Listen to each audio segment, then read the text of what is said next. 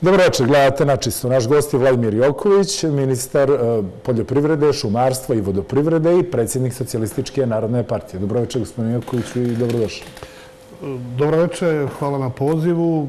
Pozdrav za vas, vaše gledalce, pozdrav sve građane Crne Gore uz standardni moj pozdrav, kupujte domaće, a pozdrav naravno i za sve poljoprivrednike uz veliku želju da ova godina bude rodna. O tome ćemo svakako govoriti, o tome zašto e, kupujemo toliko strana, zato što je uvoz e, hrane veći od ukupnog izvoza Crne Gore, ali to je jedna od tema u ovoj emisiji. E, red je da kažem radi gledalaca da u emisiju snimamo 24 sata ranije. Vi ste se promptno odazvali mom pozivu. Ovo naglašavam budući da 99,9% emisija ide uživo ali sam vas ja zvao u u, u zadnjem trenutku, budući da sam krenuo malo po drugim resorima od ovih koji se drže kao glavni u, u, u crnogorskoj vladi i dugujem gledalcima jedno objašnjenje, budući da je e, inicijalno bilo najavljeno gostovanje ministra energetike i rudarstva Saše Mujovića, vaše kolege.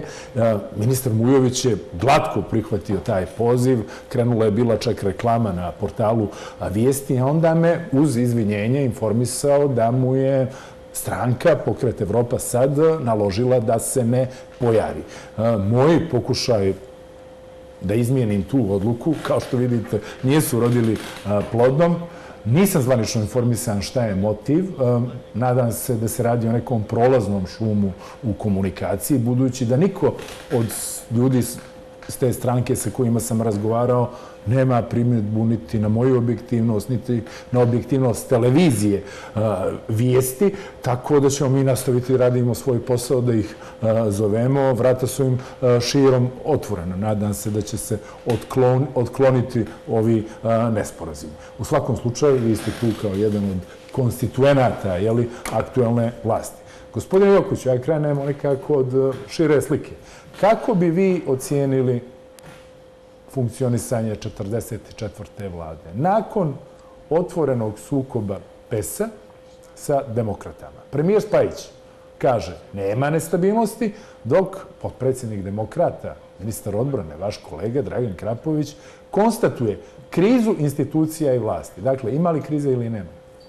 Dakle, prvo bih rekao, kad ste već pomenuli moga kolegu, mm, ovaj ministra Mujovića, da je to jedan po meni izvaredan ministar, jako dinamičan, mnoge stvari rešava u energetskom sektoru i zaista je zadovoljstvo sa njim sarađivati. Zašto nije prisustvovao večera? Nema je nikakav problem sa gospodinom Milovićem, ovaj, dakle čovjek ovaj, sve u redu. Ne, ne ulazim u to, ali sam dužan negdje iskreno, ovo je moje, moje, moje mišljenje i, i ovaj, to želim da kažem. Što se tiče stabilnosti i funkcionisanja vlade Crne Gore, Znate kako, do sada je u Crnoj Gori znalo se ko apsolutno upravlja to su bile jedne vlade, vlade autoriteta koje su sprovodile nalog jednog čovjeka. I to nije bilo previše... To se odnosi i na 43. vladu ne, koje ste također bili, ili? Ne, ne, ne, ne, ne. Ne, ne na 43. ono je prethodne vlade prije 2020. Aha, godine. dobro, dobro. I negdje je kod nas u javnosti uopšte da kad je to vlada, da to mora sve da bude idealno, a nikad nije bilo idealno. Uvijek je bilo trzavica, ali nijesu ova, izlazile van, van vlade.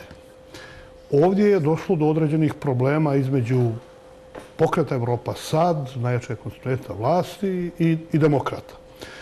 Međutim, ja iskreno mislim da to nije toliki problem kao što se mnogi mediji žele predstaviti, posebno oni koji su negdje naklonjeni opoziciji. Kako mislite, mediji, kad jedan konstituent vlasti, e, odnosno ministar e, unutrašnjih poslova, podnosi tužbu upravnom sudu protiv e, vlade i optužuje vladu za nezakonito djelovanje. Još konkretnije, optužuje premijera i vladu da su donošenjem zaključka derogirali važeći Lex specialis, zakon o unutrašnjim poslovima. Zašto uplićete mediju to? To je, to je krajnje nepošteno. Samo da vi kažem, e, mnogo se forsira ta priča.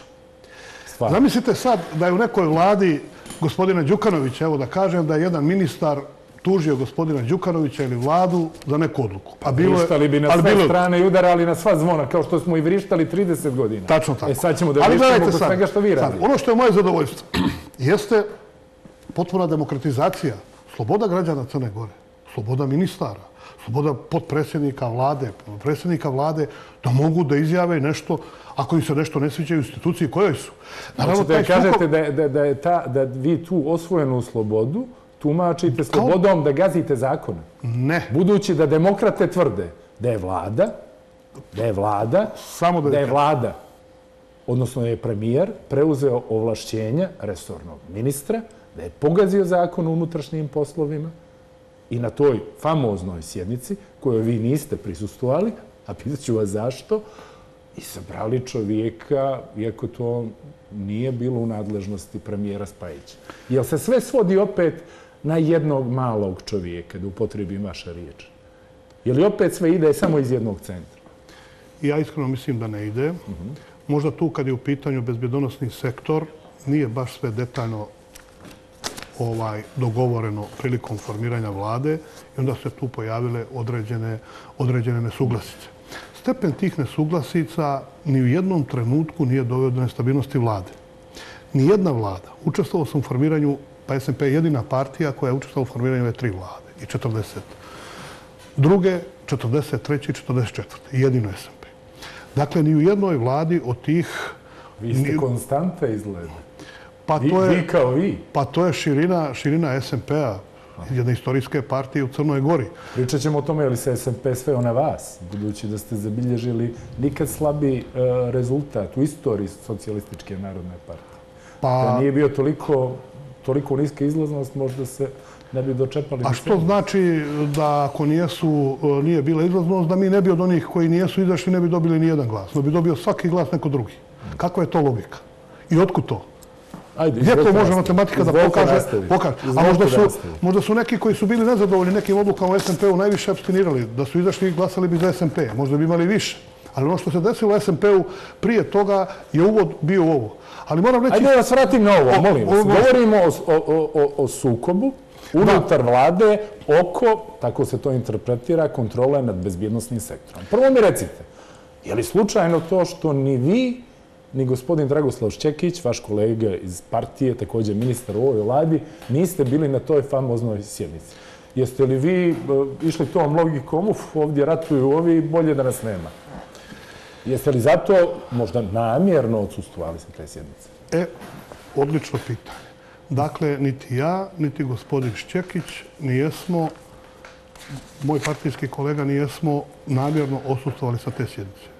Ja bih, da sam bio uopšte u Crnoj Gori, sa zadovoljstvom prisustovao toj sjednici i dao svoj doprinos u mjeri u kojoj je to E sad moguće. ćete da mi kažete, Ali gdje sad ćete da mi kažete kakav doprinos. Kako bi vi... u Samo da kažem gdje sam bio da znači da je opravdan. Ja sam u tom trenutku bio u Rimu, potpisao sam ugovor taj dan sa FAO-om, svjetskom organizacijom za hranu, 10 miliona granta za Crnu Goru. Kad se potroši 60 ili neki dio od toga, imamo još 10 miliona i to je neuporedivo veći doprinos Crnoj Gori, a to se koristi Hoćete da sjevер- kažete da niste džabe pet puta rekli buongiorno italijanskom ambasadoru u Srbiji u, u sred noći. Pa je li lijepo pozdraviti, pozdraviti gosta, gosta, ajde, mogao sam reći bonasera, ali Mogli nikakav, nikakav pro- problem, problem, problem nije, nije, nije, nije bio. Dakle, dakle, pozdravio sam čovjeka, ali sam bio tamo. Gospodin Šćekić je bio opravdano, zaista opravdano, ostane da iznosim razlog. Da ne bježimo od teme.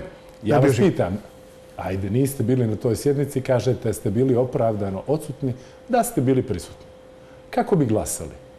I ko smatrate da je u pravu u ovom klinču, budući da je, kažem, u pravnom sudu podnijeta tužba protiv vlade za nezakonito činjenje? Da li bi glasali za donošenje zaključka, kojim se nadležnost iz e, resora ministra unutrašnjih poslova seli u ruke premijera ili bi glasali skupa sa demokratama i ministrom pravde Andrejom Milovićem koji je glasao kao i on. Ko je u pravu? Gospodin Dakle, ja- Spaj- ko, je, ko se držao zakona, ko nije? Ko je u pravu i ko se držao zakona, pošto je pokrenuta tužba, nadležni organi će odlučiti moj stav da li je u pravu ili nije. Nije sam pravnik niti sudija. Kako bi glasao? Ali samo da kažem. Prvo, kako bi glasao, naravno vidio bi argumente jedne i druge strane i onda bi se opredijelio. Suština je u sljedećem.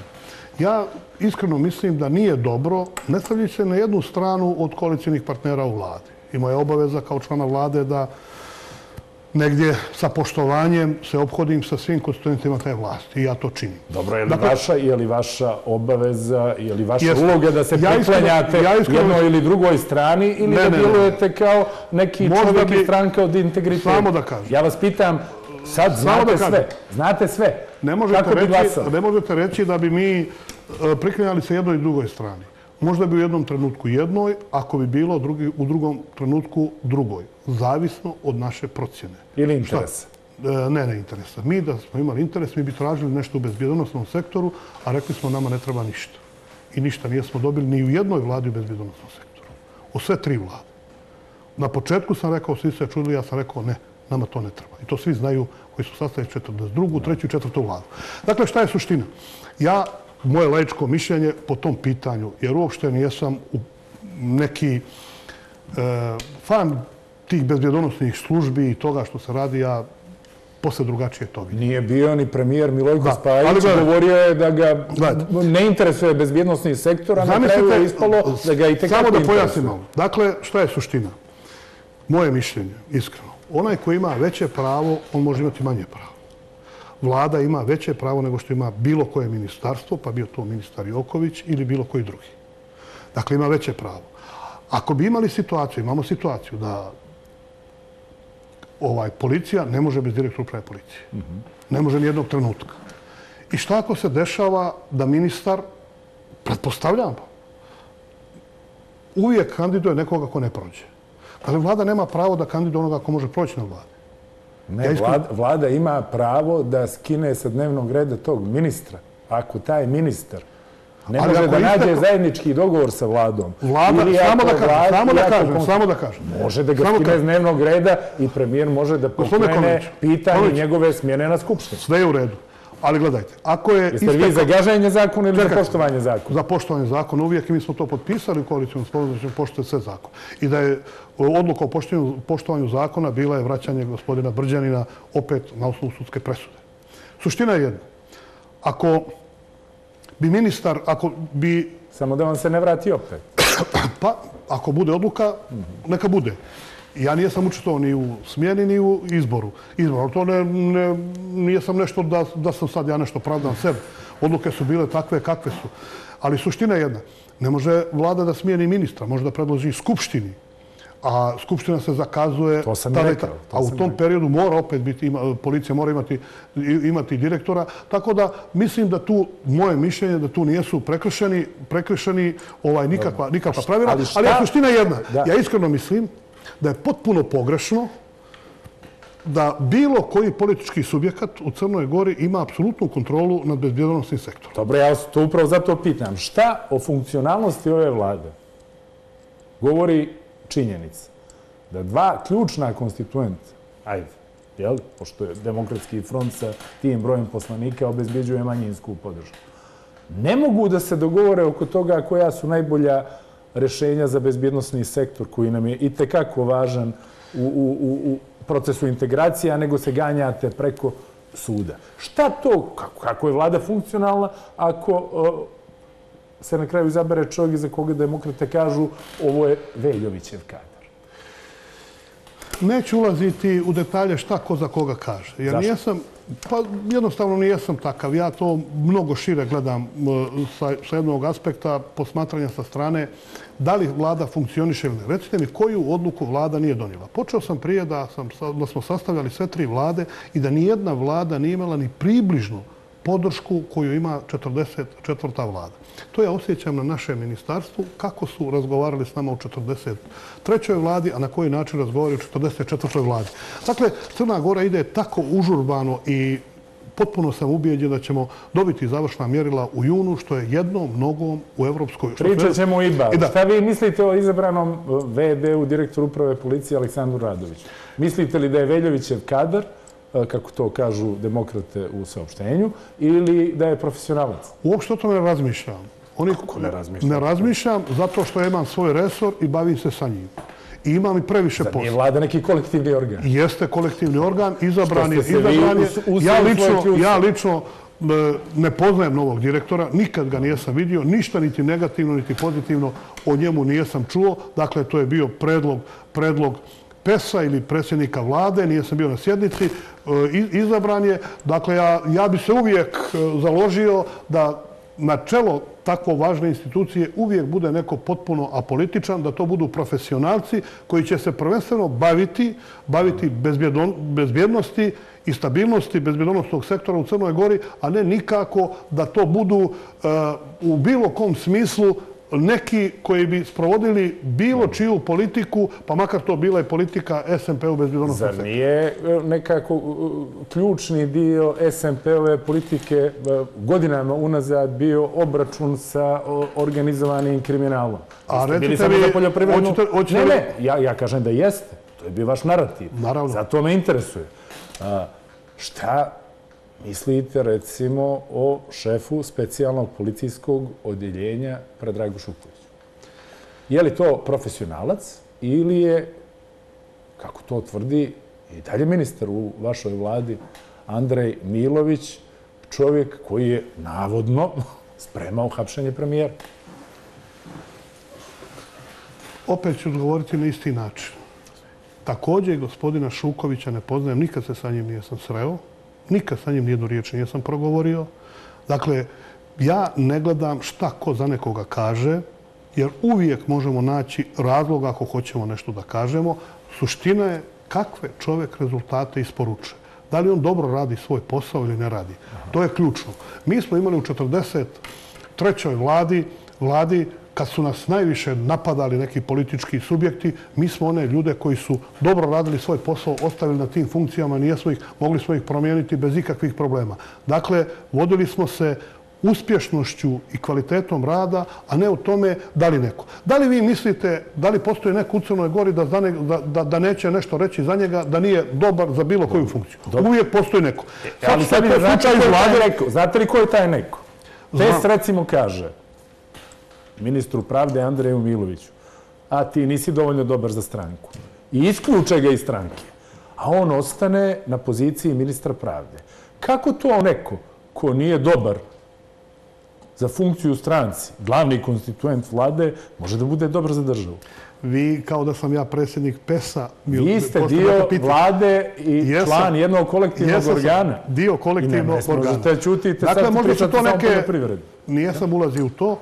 To su neke unutrašnje njihove, da li i zbog čega nije sam ulazi u to. Suština je jedna da se ono što je kod Ministarstva pravde, kako imam informacije na vladi, da vladi, da se dosta dobro e, radi da bi se dobile, dobila završna mjerila i bar u, u junu mjesecu. Ako se to sve isporuči, ne možemo u toku u toku tog procesa, tako sabijenog, tako dinamičnog, tako vremenski oročenog, da mijenjamo e, e ministre i to ključne ministre po tim pitanjima 23, 24 poglavlje, poglavlje, pa dok dođe drugi ministar Skupštine izabere ovaj ne radi, preuzme, počne upoznavanje. Vi dakle sugerišete i mislite da će se to dešavati tokom rekonstrukcije, o kojoj ćemo kasnije pričati? Pa oko tokom rekonstrukcije, to je opet na onima kojima je pripao, to jest PES-u, njima je pripao mjesto ministra pravde i na njima je da odluče kako odluče organi, onaj koji je to dobio u raspodijeli vlasti u koalicijonom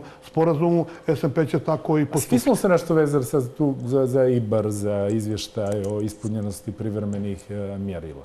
Je li možda i vlada oročena tim datumom, budući da vaše kolege u vladi, e, demokrate, kažu da će odmah nakon toga razmotriti ostanak u vlasti. Upravo zbog ovih pitanja o kojima smo malo čas govorili. Zato ja i forsiram ova pitanja.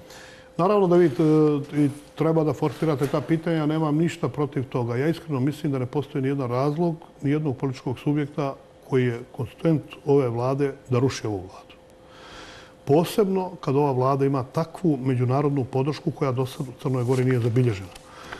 ono što je važnije... Vi ste se žalili ranije da i Đukanović ima međunarodnu podršku, ali da na unutrašnjem planu stvari dobro ne funkcionišu. Pa, pa ste i tekako bili protiv ali Đukanovića. Imao je, imao je određenu E, ovaj, međunarodnu podršku, međutim, oni su posmatrali stvari koje se dešavaju u Crnoj Gori. Naravno, vidite preko ovih Sky aplikacija. Mislite da nije to dolazilo kod, kod nadležnih, da, da, to se, to se kod nadležnih i koji su rekli, vidite samo što se to radi, zar ćemo ove ovakve da primimo? Protiv tih se ništa ne, ne, ne preduzima.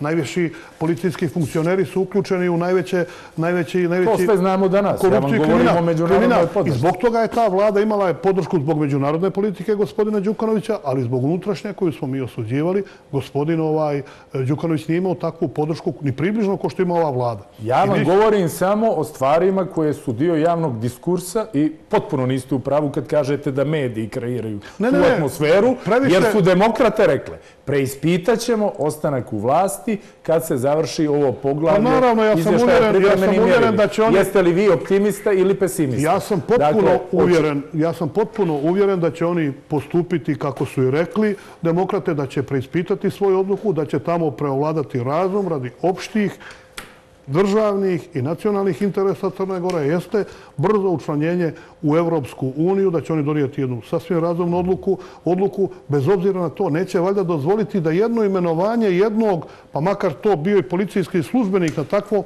na takvom mjestu, da upropasti čitav taj proces. Ja iskreno mislim da je da u demokratama, bez obzira na ljutnju, koja je možda, možda sa njihove tačke gledišta i opravdana, možda to nije koalicijonim kao što nije u potpunosti precizirano šta je treba i kako u bezbjedonosnom sektoru, nije, nije negdje ni logično da presjednik vlade nema apsolutno nikakvu kontrolu nad bezbjedonosnim sektorom. Mora i on imati u tome, jer po funkciji negdje to pripada i presjedniku vlade. Suština je jedna. Vjerujem da će oni donijeti tu se čak svoju odluku. I, i, složiti. Fokus svih ovih mojih pitanja je šta o funkcionalnosti vlade govori činjenica da se glavni konstituenti ne mogu složiti oko tih rešenja, nego da stvari rešavaju preko suda. I podpre, zamjenik predsjednika, predsjednik države, je napustio pokret Evropa sad i tvrdi da je ta stranka skrenula sa zacrtanog puta. Kako ste vi doživjeli taj razlaz? Uopšte ga nijesam ni doživljavao, to je unutrašnje pitanje e, PES-a. Mi smo podržali gospodina Milatovića za predsjednika države da bi pobjedio, pobjedio Đukanovića, ponosimo se time. Time gospodin Spajić kao nosilac liste u PES-u dobio je najviši broj glasova, legitimno izabran e, i ta partija je bila pobjednička partija na posljednjim parlamentarnim izborima 11. juna prošle godine. Dakle, sasvim legitimno. Odnosi unutar političke partije, mi se u to ne miješamo.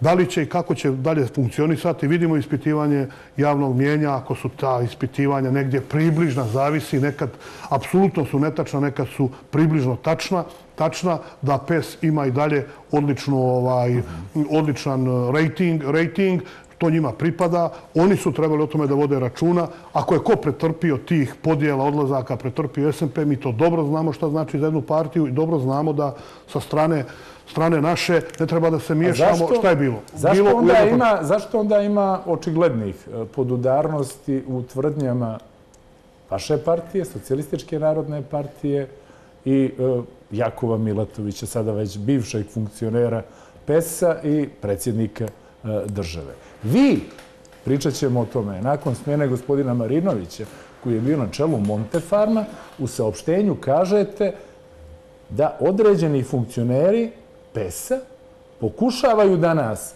na mala vrata vratiti kadrove DPS-a koje ste ranije razvlastili.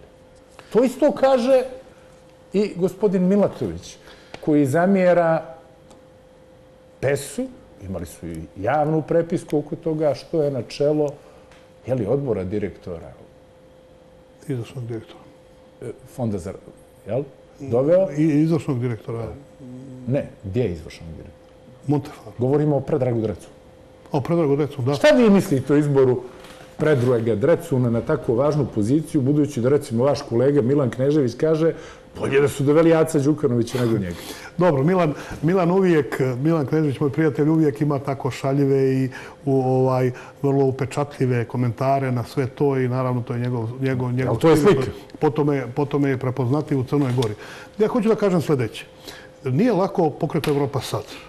Svi oni koji su u pokretu Evropa sad su bili na neki način uključeni u politiku u jednoj od do tada postojećih političkih subjekata. I sad bi mogli da kažemo, e pa zašto su nekog... Ali optužujete li vi da ih je puno bilo u DPS? Pa bilo ih je iz DPS-a, bilo ih je iz, iz drugih političkih partija. Oni su nastali, jednostavno oni koji su podržavali, izlaznost je bila neuporedivo veća. Dakle, smanjen je broj, procenat izlaznosti. Dakle, ovi koji su izašli, izlazili su i prije. Glasali su, imali su svoje favorite na izborima, sad su odjednom prepoznali vidjeli sebi e, neku ovaj političku partiju koja je bliža u tom trenutku od drugih. Govorite li vi to da je pes pun preletača? Pa ne možemo da kažemo sad je pun preletača, nastao politički subjekat u kojoj su učlanili određeni, određeni politički, e, određeni broj građana i formirali su partiju. Dakle, svaka politička partija je izgubila određeni procenat, procenat glasova zato što se pojavila nova snaga i došlo je do podrške njima. Ste vi zaboravili moje pitanje? Nijesam zaboravio vaše... Šta mislite o izboru Predrage Drecuna, bivšeg opozicionara, koji se, kako je pisao jedan moj kolega, smirio nakon što je došao u rukovodstvo Čukanovićeve prve banke, je li tada? Dakle, je li to dobar ili loš potez? O tome da li je dobar ili loš potez izbor gospodina Predraga Drecuna, za predsjednika borda direktora investicijonog razvojnog mhm. fonda, koji bi trebao da preraste u razvojnu banku, po meni, po meni ću suditi onog trenutka kad vidim kako će rezultati biti u investicijonom razvojnom fondu. Pošto znači, vi, sad, vi da vrate, vi da vrate Mila Đukanovića na neku funkciju, Vi bi mi rekli, sačekat ćemo da vidimo kakve će Milo Đukanović imati rezultate, ne možemo to pa ćemo onda zauzeti Mi smo o rezultatima Mila Đukanovića i te vlade uvijek govorili onako kako smo govorili. Vi nekad ste govorili i, i o ovoj ekipi o kojoj sad ja pričam i kojoj... Dakle, Predrag Drecun je bio nekad i poslanik i član Narodne stranke, za koju sam ja glasao tada, 90. godina, odmah da kažem, da kažem, da li je to dobar izbor... Vi ste bili u DPS-u 90. godina. Šta vi očekuje... Vi ste bili na trećem kongresu DPS. Vi ste bili Ko, ko bio? Vi. Pa to je najveća laž koju iko. To vam je rekla koleginica Zdenka Popov. To je najveća laž koju je neko izgovorio. Hoćete da li kažem, odlično pitanje. Ja bio na kongresu DPS-a. To nije Treći, tačno. Mislim 90. Nije tačno. 90. Znate gdje sam ja bio na kongresu DPS-a? Momirovog krila DPS-a i prvi put sam se tada uključio. Pa to sam Kad je... Ne, ne, ne, ne, nemojte pričati DPS. Dakle, tada sam se prvi put uključio uključio u politički život Crne Gore, osim što sam glasao za Narodnu stranku bez ikakvih, znači kao glasač. Dakle, kad je došlo do rascijepa u DPS-u, ja sam stao na stranu Momira Bulatovića i jedan od tri delegata iz Plužina, ja sam bio na kongresu Momirovo krila DPS-ova. A znate koje su odluke donešene na tom kongresu? Na tom kongresu su donešene sljedeće odluke. Isključen je Milo Đukanović, isključen je Svetozar Marović, isključen je Milica Pejanović-Đurišić, isključen je ovaj, e, kako se zove, Mijomir Mugoša, Mugoša i tako dalje. Dakle, to je čista nastanak. Tu je tu se kalio čelik za formiranje SMP-a, jer je sud u tom trenutku presudio da do konačne odluke suda mogu se predstavljati krilo Momira, u stvari Milice Pejanović-Đurišić i Momira Bulatović. Ima oni ja koji kažu da ste se raskalili, ali to nije moje pitanje. Nije, samo da moje kažem. pitanje samo da koga... Ne, ne, ne, ne, molim vas, molim vas, dozvolite. Izvolite. Tu neistinu plasiraju oni kojima smeta moje od prvog dana... Plasirana je u skupštini, za to pitam. Pa ja sam to demantovao. To su oni pročitali, pročitali u kongresnim dokumentima tog Momirovog krila u, u Kolašinu, gdje kongres prekinu, donio te odluke, nastavljen u sportskom centru Morača i promijenio ime jer je sud umeđu vremenu govorimo Dakle, samo jedno, samo jedno.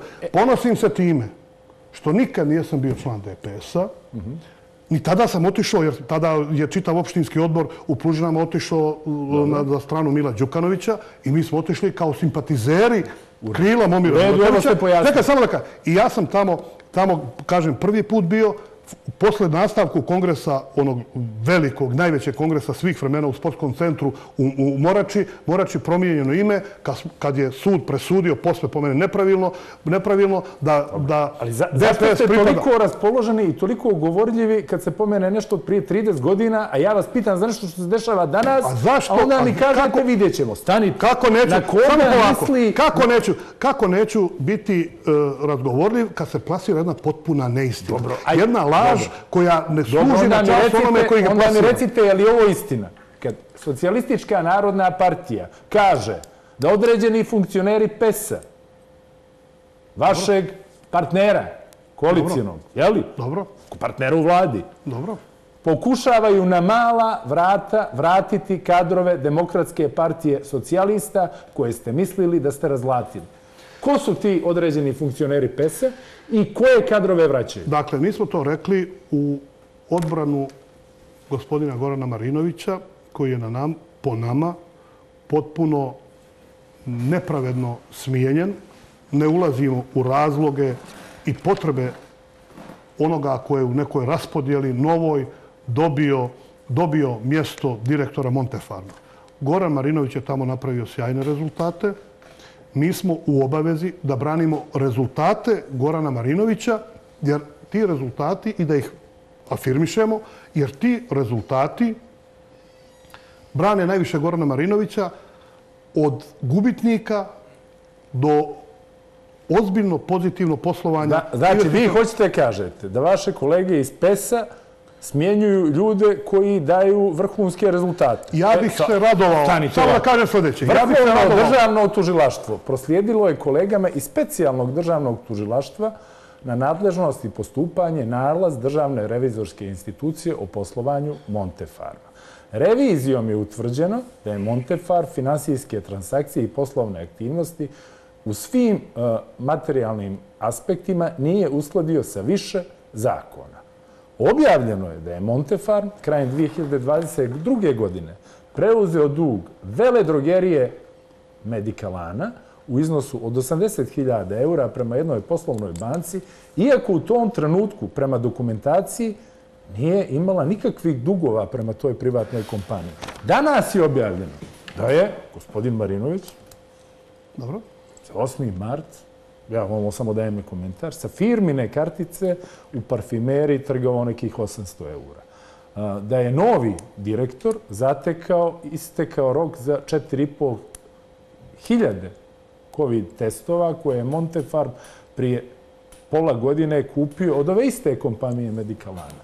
Da je Marinović u novembru 2023. poručio 5000 testova za kućnu upotrebu, isto na COVID, Jeli? Iako su sve mjere u Crnoj Gori, što se tiče COVID-a, ukinute još 2022. godine, jer tad se niko ne testira.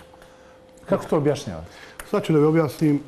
E, naravno, nije Pošto je ovo vaš kadar. Jeste, jeste. I nije sam u svakom segmentu upućen, jer smo imali veliki broj kadrova u 43. vladi i naravno... Sad ga branite, ja, kao predsjednik partije, molim vas, dozvolite mi, kao predsjednik partije. Dakle, za ovih 80.000 eura, to je bila cesija, preuzet je dug i kasnije naplaćen. Znate što je cesija? Dugo je svak svako Sve ja i onda se pre. Dakle, Ali nema dugovanja. Da li je, da li je, nema dugovanja. Da li je nastala šteta? Stanite, stanite. Čekaj, samo, nema dugovanja. Samo, čekaj, ja vas pitam. Ima li dug? Da li je, šta je suština ovdje? Da li je tih 80 nije to, nije to suština. Čekaj, čekaj. Suština da li je, je ima li duga ili nema duga. I, po, I da li vi to radite po zakonu ili ne. Čekajte, ne radim ja, ne, radi gospodin stvarno. Marinović i on odgovara... Vi vodite neku kompaniju. Možete li vi u svojoj kompaniji to da uradite? Ma dajte. Ne, samo, samo, samo polako.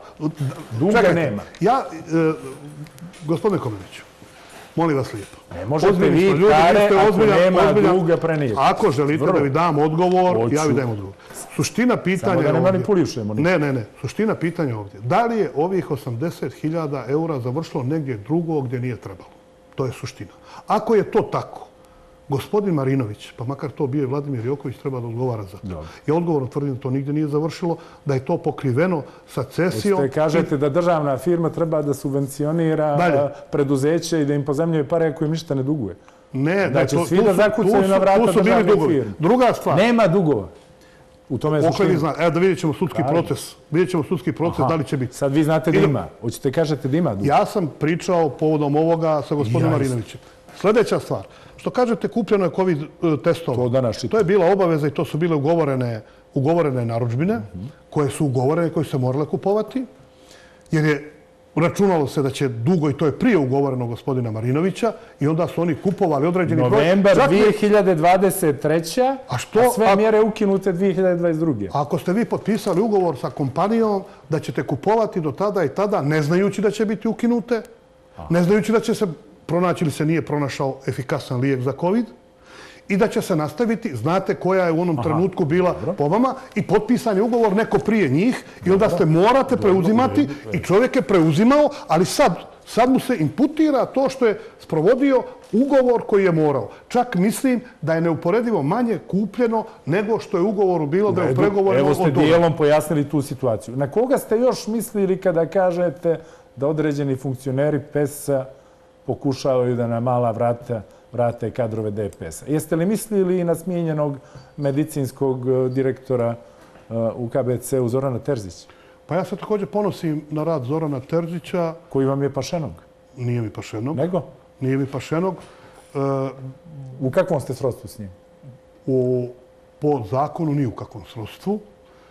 Njegova pokojna supruga, koja je također jedna divna osoba, koja je također e, bila doktor nauka iz oblasti medicine, i Zoran je doktor nauka i bila je direktorica infektivne klinike u, u, ovaj, u KBC-u. KBC-u je sa ocem moje supruge rođak neki. Dakle, apsolutno nikakvog srodstva. I sad se tu forsira, sad smo mi pašeno. Nije, Pašeno nije vam rođak po zakonu, ali vam je neki rođak. igrom Je slučaja... li po toj liniji došao Ovako, u partiju i na tu ovako, poziciju? Nije po toj liniji, nego ako taj čovjek sa takvim referencama i takvim ugledom i statusom je došao u SMP zbog toga, pa to je dragulj uh, za svaku partiju i svaka partija bi presrećna bila i nije njemu potrebno, čovjeku takav kakav je, apsolutno mu nije potrebno da bude ni sa kim dobar niti svoj da bi bio član nekog političkog Pa zašto ste vi ponosimo- u koaliciji s onim ljudima koji ne cijene takve dragulje, nego ih miču i, kako kažete, u socijalističkoj narodnoj partiji Samo da kažem. dovode stare kadrove DPS-a koje ste Samo vi da mislili da ste razvlastili Samo da 2020. godine. šta bi postupila bilo koja politička partija kad neko dođe, evo je SMP, neko dođe značajan, bio je nekad u nekoj drugoj partiji i prešao u našu partiju. Imali smo i takvih slučaja. Došao je SMP. Došli su, nikad nijesu bili, su Jeli, glasali za stanite, neke- nije nekoj drugoj partiji, nego partiji Partiji. koju ste vi 30 godina tvrdili da je uništila ovu zemlju, da je ostavila haos, da su e, poslije e, nje sve što je ostalo kao da su skakavci pojeli, a, da su u, u, u, odgovorni za korupciju, za Sky aplikacije, čekajte. za nepotizam. Čekajte, Stanite, stanite, samo stanite. polako, samo polako. Samo. Ovo je vaše saopštenje. Jeste, Vi zamjerate PES-u U redu, da u redu. kadrove DPS. Pa mi, e, pa naravno, Koje? zamjeramo, zamjeramo, ali to nijesu oni koji su bili na rukovodećim položajima u SMP-u, u DPS-u. To je bio neki treći ešalon koji je kasnije, znamo, vidimo sa slika promotivnih skupova gospodina, e, promotivnih skupova DPS-a i tako dalje. Da li su najgori, ja o tim ljudima ne mogu da sudim. Ma ne, pitam sudim- generalno, ja sudim o politici, najgori? ja sudim o politici koju je vodio, koju je vodio DPS. Mi smo u toj politici, bar je SMP, najdugovječniji borac protiv DPS-a i to je partija koja je sve rekla DPS-u kad je DPS bio u zenitu svoje svemoći. U zenitu svoje svemoći. A zašto da onda sad mnogi tvrde da se vi ponašate svi nakon 2020. po matricama DPS-a? Zašto ste, e, recimo, na konkursu za direktora direktorata za plaćanje u Ministarstvu poljoprivrede izabrali zadnje rangiranog Marka Radonića? Prvo, on nije zad, zadnje rangirani. To je Ali opet nije ni prvo- prvorangirani. Pa nije ni prvorangirani. E, Koji je bio konkursu? možete li mi sad dozvoliti? Mogu. Evo ovako. Prvo mislim da je bilo 13 kandidata. I gospodin Marko Radonjić je bio četvrti po ocjenama. Onih koji su ocjenjivali. Konačnu riječ po zakonu daje ministar. Nakon razgovora dobije listu onih koji su prošli i na osnovu toga izabere onoga koji je najbolji. I baš vašeg funkcionera iz Danilovgrada. E, samo da kažem nešto. Taj funkcioner naš iz Danilovgrada je uradio više u agenciji za plaćanje nego mnogi prije njega do sad. Bilo je toliki bojazan da će Crna Gora vratiti 12 miliona eura evropskih grant sredstava da neće doći do poljoprivrednika Crne Gore. Mi u ovom trenutku imamo za pola godine rada, gdje imamo sve pohvale međunarodne zajednice, Evropske komisije za to, mi imamo da je potpisani posljednji cent, samo ako dobavljači mogu isporučiti, isporučiti opremu poljoprivrednicima Crne Gore, da nijedan cent nećemo vratiti. I taj čovjek zaslužuje svaku... A vi me razdvajate što vas ja pitam. Samo da kažem. A samo, samo polako. A nemojte, molim vas. Samo izvolite. Nemojte, molim vas. Dozvolite. Evo izvolite. Šta ćete reći za ovo? Da smo za direktora uprave za bezbjednost hrane imenovali gdje su bila četiri kandidata ili tri koja su došla kod mene, kandidata u najvećoj napadu tokom 40 treće vlade, u najvećim napadima demokrata na tu vladu i lično na mene, na mene uz ove neistine i potpune neistine laži da sam bio član DPS-a, DPS-a kad smo imenovali čovjeka Vladimira Đakovića za, za direktor uprave za bezjednost hrane, koji niti je SMP ništa. Samo sam pitao da li ovaj čovjek obavlja funkciju, sve ljude. Svi su mi rekli, sa kolegama iz, iz okruženja, rekli su obavlja, imenujemo ga. Vi mene šta me, šta me rekli? Stanite, šta me, okrećete šta... priču gospodina Radnović, to nije moje pitanje. E, samo, ne, ne, pitam... Zašto, po Bogu, raspisujete konkurs i kad izaberete čovjeka koji nije prvo rangirani na konkursu, vi kažete, a to je ispravljanje nepravde. A posle, Zašto samo da ispravljanjem nepravde? Izbor ljudi koji imaju slabije rezultate na konkursu, ali imaju člansku kartu. Zar to nije ponašanje po matrici DPS? Nemojte mi brkati, maglite stvari. E, samo... Zašto? Čemu služi konkurs? Samo Ako vi na kraju kažete, u, najbolje je ovaj sa mojom članskom kartom. Samo, samo da vi kažem nešto. Dakle, gospodin Radonjić je završio poljoprivredni fakultet u Podgorici, ima svoju porodičnu farmu, radio je u privatnoj kompaniji čitavo vrijeme, gdje ga i sad zove izvarednu saradnju sa tom kompanijom, ima, znači radi se o korektnom momku i čovjeku, koji nikad nije zbog svog političkog uh, opredeljenja, nikad nije mogao da dođe u situaciju da se zaposli. Da se zaposlio Marko Radonić, da je bio u tim procedurama gdje su postavljanja pitanja, bio bi daleko najbolji. A zašto nije bio prvo rangiran i onda na konkursu koji ste vi raspisali, ako ima sve te reference? Čekajte, ako ste vi u nekoj materiji... A vi raspisujete konkurs, ne ja. A mi smo raspisali konkurs... A što ga raspisujete? Čovjeka... To je to ga raspisujete ako izaberete pet, pet rangira. Čekaj, šta, bi, šta biste ovako rekli? Da se, ja ne bi onda raspisivao konkurs se, uopšte, ali vi to ne možete. Samo polako. Prijavilo se 13, pri, prijavilo se 13 kandidata. Proceduru su prošli i ja sam dobio listu. Obavio sam razgovore sa svima i shvatio sam da je Marko Radonjić najbolji kandidat za to. Ali na kraju vam se niko neće javiti na taj konkurs jer je poruka jasna. Na sljedeći konkurs vam se neće javiti niko. A to je jer ste vi poslali samo, poruku samo. da birate ljude sa to, partijskim legitimacijom. Ne, ne, ne. I samo što još hoćete da kažete, ispravljanje nepravdi. Apsolutno imam pravo za ispravljanje nepravdi i ponosim se time. Za sve one koji su bili ugroženi i koji su imali odvažnost da kažu demokratskoj partiji socijalista, oni koji su vladali Crnoj Gore, ne, i koji nijesu mogli da nijesmo mogli uz poštovanje bilo kog zanata i profesije, nigdje nijesu mogli da se zaposle, zaposle. Sad, kad dođu, da ne mogu ništa da se zaposle. Ali vi ste tvrdili 30 godina da uh, dolazite na vlast sa ciljem da otvorite prostor za najbolje. Na konkursu se ustanovljava ko je najbolji. Ako vi uprkos konkursnim, čekajte, čekajte. ako vi uprkos konkursnim rezultatima nastavite da dijelite posao ljudima koji imaju vaše članske karte, vi niste ništa bolje od DPS. Samo da vi kažem nešto. Samo da vi kažem nešto. Naravno, da nijesmo malo bolji od DPS-a, nego smo neuporedivo bolji od DPS-a, to svako zna i to, je, to ne trebate pominjati. Što ih onda vraća, Zamislite što ih onda vaš, vraća samo vaš da ova, partner u vladi na kažem, poziciji. Samo da kažem sljedeće. Ko ispitujete, ispituje komisija koja je možda bila formirana za vrijeme DPS-a? Pa vi ste ostavili četiri godine poslije komisiju koja je pa bila možda je tada bila... Vi ste tri godine u Ministarstvu poljoprivrede. Nije sam tri godine, još nema dvije. E, dobro. Evo nema još dvije. Da, nije baš malo. Pa, pa nije ni malo, ali nije ni previše. nije malo. Ali mogli ste se makar ko, s komisijom pozabaviti. Ne, ne ispituje komisija u svakom segmentu ne ispituje komisija Ministarstva poljoprivrede, nego to ide u komisiju za kadrove i tamo se ispituje. Tamo se ispituje. Dakle, nije, postoje ljudi iz ministarstva ova pitanja po tom pitanju. Zamislite da ja sad ispitujem, evo, vi ste prepoznatljiv novinar. I ja ispitujem, ja sam član komisije i bilo kome, evo, poštujući bilo koga iz nekog medija ili posle nepoznatoga, ocijenim bolje nego vas kao novinara. I dođe u neku medijsku kuću i sad kažu, evo, Petar Komnenić je bio treće plasirani, znajući za ove vaše emisije koliko su gledane i kako su ovaj prihvaćene od javnosti. Šta mislite koga bi izabrali, izabrala ta medijska kuća? Ali gospodine... Čekajte, koga bi izabrali? Gospodine, pa čekaj, odgovorite ime. Pravite startnu grešku. A ne, ne pravim startnu grešku. Ne pravim startnu grešku. Prvo, ja da odem, da, odem, da, kažem. da odem sa rejtinzima i konkretnim stvarima na tu vrstu konkursa, da, ne bih imao problem. Ali gledajte, problem je što vi stvarate konkurse, ali gledajte ovako. animirate ljude da dođu gledajte da se jave na te konkurse, a onda ja ih obeshrabrujete tako da kažem. što ih uprkos tome što dobiju na konkursu, vratite dobili, kući. Pa nijesu dobili. Kako su dobili? Jesu, pa bi ima prvorangirani, je li na konkursu? Pa nije prvorangirani. Ministar odlučuje svog...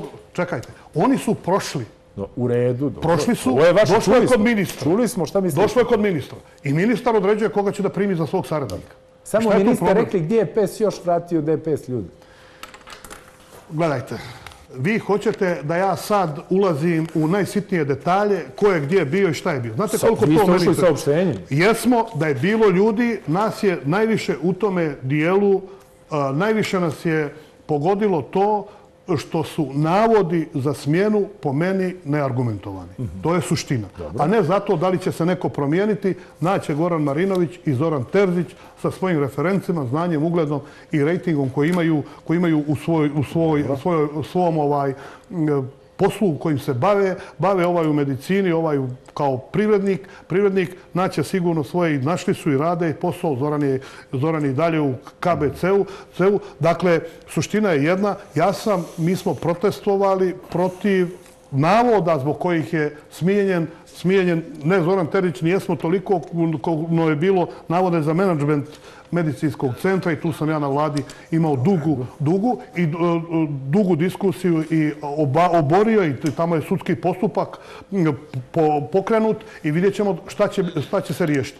Sačekajmo i ovo da vidimo. Do sada ni jedan jedini funkcioner SMP, a bili smo toliko funkcija, nikad nigdje nije osuđen, nigdje nije uhapšen, nigdje nije doveden u sumnju o korupciji i kriminalu i to je ponos naš. Nikad nijedan. Dakle, To je nešto mi Kako dobro radimo. Kako mislite nije doveden u sum? Za, nije doveden, nije pokrenut postupak protiv njega. On niti te farmiju ne izviđaju. Pa šta to znači? Pa može znači bilo, ko, se... bilo ko može, da li znači da izviđaje... To znači da je vrhovno državno tužilaštvo proslijedilo kolegama iz specijalnog državnog tužilaštva. U redu. Pa kažem, to je sum. U redu. To je sum. U, u, u redu, sum. Ja da ništa ovdje ne prejudicam. Da vidimo, da vidimo, zato, zato što je bilo. I ovo što kažete, karticom je plaćeno nešto. Pa, ne znam, ja to čitam danas. Da li, evo, ja nemam nikakvu karticu. Sjećate da smo Igora Lukšića o jadu zabavili kad je kupio negdje bio bokserice na aerodromu. Pa čekajte. 5 eura. Otišao je... Ovo su nekakvi parfemi sa službene kartice. 850 eura. Samo da kažem. Stoga se više ne sjećate. E, čekajte sjećam se toga i to je bio ispod neko, nekog nivoa, da li je čovjek otišao na put, izgubio, izgubili su mu se Ali je bila afera, jel? Prvo da kažem. Pa ko je pušio ja, trošku države, sjećate li se? Znam i to. Petar Ivanović. Samo da kažem. se svi grajali. Samo da kažem. Evo, ja evo sljedeći. stvar. Niti imam karticu ministarstva, niti ću imati nikad. Niti imam telefon službeni, niti ću ga ikad imati. Koristim svoj koji sam koristio svih godina od ko sam prvi kupio, koristim taj telefon. Niti bilo gdje koristim neku privilegiju od ministarstva. Dakle, ako je kupio za 8. mart za troškove reprezentacije, možda poklonio svojim najbližim saradnicima, damama koje rade, rade u tome, je li to neki veliki grijeh? Imao je pravo na troškove reprezentacije, na gubitak, na dobitak koji je ostvario i napredak u firmi, to je toliko smiješno. Tamo nije, mislim da je Montefar do dolaska njegovog bio gubitaš, a imaju je milijon i trista hiljada dobiti poslednje godine. Ništa ne prejudicira, vidjet I sad je tu, tu strašna jeres što je kupio možda svojim koleginicama da ih časti kao firma, firma, po neki parfemčić i poklonio ih tamo. I mislite, sad, sad je to nešto strašno. Za ovoliki dobitak koji treba dobije i tekakvu nagradu, nagradu i, i, i, i satisfakciju zato što je evo, napravio... Evo vidjet ćemo šta o tome kaže tužilaštvo. Vidjet ćemo, kako vidjet će to završiti. Ja- Mi ja- sad moramo na reklame. Pa ćemo blok reklama pa se vraćamo odmah nakon pauze. Reklame. Ponovo smo u studiju i razgovaramo sa Vladimirom Jokovićem, ministrom poljoprivrede, šumarstva i vodoprivrede, predsjednikom Socijalističke narodne partije. Gospodine Jokoviću, sve se, pomenu smo ranije, veže za IBAR, dobijanje izvještaja je li, o privremenim mjerilima, pa i e, sporazumom predviđena rekonstrukcija vlade. Kada očekujete vi e, e, rekonstrukciju? Dakle, ja se više fokusiram na to i to mi je prioritetnije.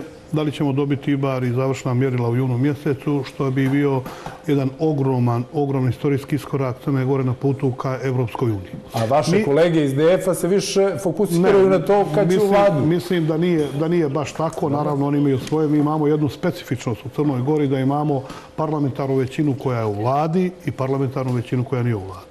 Mene kao čovjeka i predsjednika SMP-a negdje ne osjećam se baš najlagodnije kad neko nije u vladi, a podržava vladu. Vladu, mislim, čet- ovu 44. vladu, jer demokratski front je dao podršku i vlada je na osnovu njihove snage i broja poslanika zastupljena. I pošto je potpisan koalicioni sporazum da se vlada formira do, do, da, da dođe do rekonstrukcije do kraja ove godine prije usvajanja budžeta, a budžet može biti usvojen negdje u novembru mjesecu, moj stav je kad već treba do toga da dođe do rekonstrukcije vlade, da se ta vlada pojača, da bude jača i snažnija, snažnija, da svi budu zastupni, da svi preuzmemo odgovornost, da damo punim vjedrima da plovimo prema Evropskoj uniji, uniji gdje je neki target da 2027. godine Crna Gora bude puna članica. Pitanje je kad Moj- to očekujete? Moj, moj, Na moja, želja- bi želja bila da to bude što prije. Da imamo i da nastavimo da radimo. Da ne dolazimo negdje u situaciju da čekamo, čekamo, naravno, to je, se najviše odnosi na pitanje dogovora između PES-a i e, ovaj koalicije za budućnost Crne Gore. Njihovo je kad će se dogovoriti, kad se oni dogovore... Ali i na to da li će demokrate nakon dobijanja tih mjerila, ba, da tako kažemo, drmati vladu. A, To je, sve je to legitimno. Mogu i demokrate to da drmaju, da rade. li, može li biti da, da, da dođe i do nekih izbora prije rekonstrukcije? A što će biti strašno? Evo, bilo ih je, bilo ih je izbora, mm, evo, bili su u junu mjesecu, vjerujem da bi ti izbori zaustavili ovaj proces, da ne bi imali niko oni ko bi, ko bi to uradio da sluši ovu vladu koja sam rekao kako ima međunarodnu podršku, da ne bi to naišlo na odobravanje, odobravanje međunarodne zajednice i ja bih volio, kažem, da se ova rekonstrukcija što je moguće prije izvrši. Naravno, ne ulazim u to u dogovore, razgovore DF-a i PES-a, jer se to najviše njih tiče. Šta mislite o ulasku Bošnjaka u stranku? Demokrate su protiv, a, konstituenti nekadašnjeg da- fronta su bili za, ali je Milan Knežević nakon toga, re- nakon toga rekao da je i on protiv, jer su Bošnjaci glasali za smjenu Andrije Mandića. Šta vi mislite o ulasku Bošnjaka? Ja iskreno mislim da vlada treba da bude što je jača i što je bolja i što, im da bude e, i što više zastupljenosti u parlamentu, da ima veću snagu. Ja nijesam bio presrećan, možda će neki misliti Eh, ili pogrešno shvatiti, nijesam bio presrećan što bošnjaci nijesu dio vlasti. Ja iskreno mislim da sve nacionalne manjine u Crnoj Gori uvijek trebaju da budu dio vlasti u Crnoj Gori. Dovoljno na Zapadnom Balkanu, to često ponavljam, da budete nacionalna manjina i da već ne osjećate zbog svega onoga što se desilo u čitavom regionu, najmanje u Crnoj Gori na svu sreću, sreću i ja apsolutno podržavam taj predlog predlog. Mi smo sarađivali u 43. vladi, imali smo divnu saradnju, saradnju, tako da ne vidim nijedan razlog zašto bošnjačka stranka ne bi bila dio, dio ovaj nove, mislim, dio ove parlamentarne većine i da ne bismo imali situaciju da baš vlada bude na ivici, može se srušiti ili ne i tako dalje, da ima što veću podršku parlamenta i da svi ono što sam rekao, nastavimo ove procese i reforme kako bi ostvarili strateški cilj ove vlade, to je ulazak u Evropsku uniju. Dakle, Vi se osjećate i deklarišete se kao Srbin. Apsolutno. Šta mislite o predsjedniku Srbije, gospodinu Aleksandru Vučiću? Dakle, ja se izjašnjavam kao Srbin i pišem se kao Srbin i to sam uvijek činio. činio.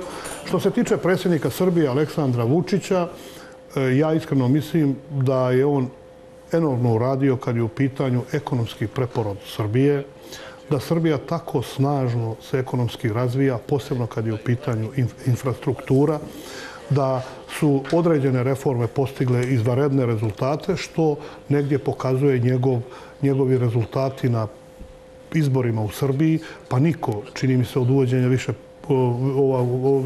više parlamentarizma u Srbiji, da nije imao tako snažnu podršku i dugo ni Slobodan Milošević, mislim da je dva, da je treće izbore već izgubio. izgubio. Ja vas samo nisam pitao da, da se razumijemo, da bih e, išao na razgovore o stanju u državi Srbiji, gdje je vrlo upitan način i ambijent u kome se organizuju izbore, gdje imamo brojne izvještaje o pritisku na medije, gdje, da ne govorimo o svim drugim problemima. Ali vidim da uvažavate gospodina Vučića. Jeste li onda doživjeli kao uvredu što je gospodin Vučić, kad je formirana ova vlada u koju ste od ajde, ovih prosrpskih partija ušli jedino vi, kazao da su Srbi dobili šipak. Ne. Je li to, to čekaj, jeste doživjeli to, kao uvredu? Prvo, to nije nije precizna formulacija.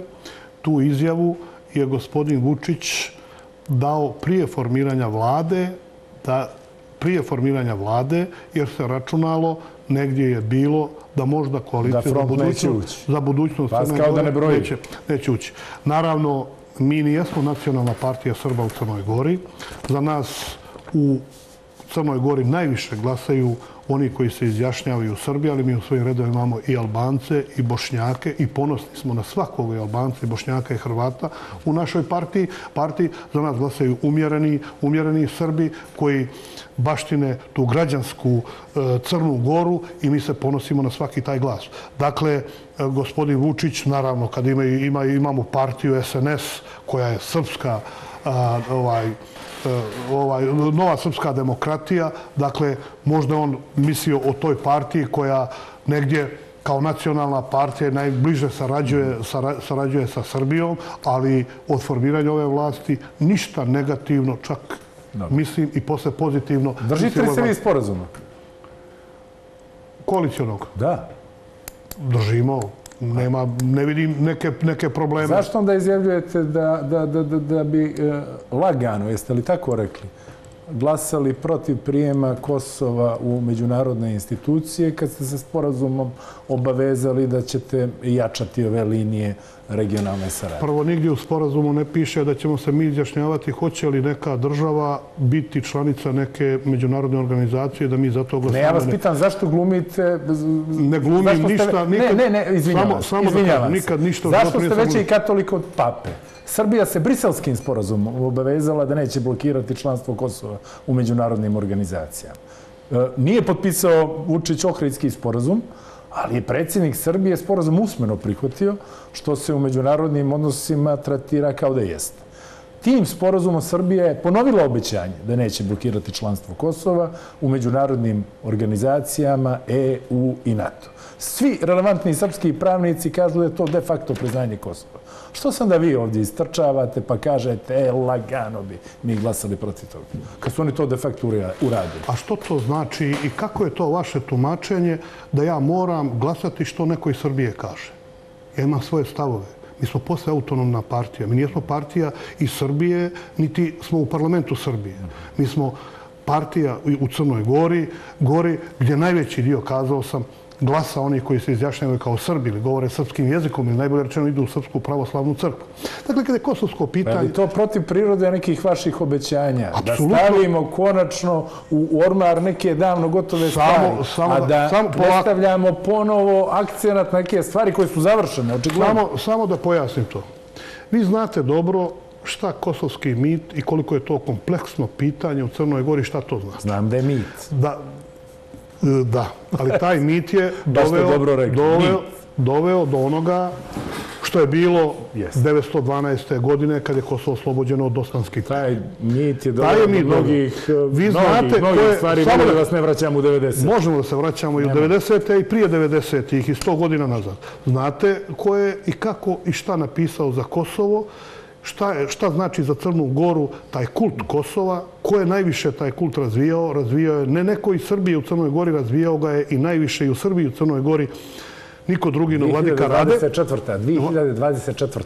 Što 2024. je godina. A što znači, A vi mislite, vi 2024. mislite da... Postoji evropski plan za Kosovo. Čekajte. To je evropski plan za Kosovo. samo polako. Što to znači ako je 2024. da se mi svega To je nova realnost. Pa čekajte, znači, ako je neko rekao negdje da je to nova realnost, znači svak mora da Je prihvati. rekao neko, nego svi vidimo da je Samo to nova polako, realnost. samo polako. Čak i Samo srpska polako. vlast, Samo- srpski pravnici kažu da je ovo de facto priznanje Kosova. Samo da kažem jedno. Niti me interesuje šta kažu srpski pravnici, niti me interesuje šta kaže međunarodna zajednica, niti me interesuje ne u krajnjoj interesuje liniji. Samo polako, samo polako. Nemojte kvaditi sva. Dobro. Samo da kažem. Ne interesuje me po nekim pitanjima šta kažu. Ne interesuje me u smislu onoga što ću ja reći, izjaviti kako bih ja glasao za pojedina pitanja. I zato imam pravo i ponosim se tim. Ja sam potpuno slobodan čovjek, niko na SMP niti utiče, niti može uticati. Mi donosimo potpuno autonomno svoje odluke. Dakle, mi smo, znamo dobro šta je bilo 99. godine. Je li istina, gospodine Komneniću, da je do tada UČK organizaciju, jesu li je vodili, jer je američke bezbjedonosne službe vodili je kao terorističku organizaciju? Hoćete li- Hoćete li... Čekajte, samo, Gurate me u da li, da li srpski pravnici, samo mi recite ovako, da li srpski pravnici, da li srpski pravnici, pošto ih pominjate sad, da li kažu da je bila legitimna NATO intervencija 99. godine?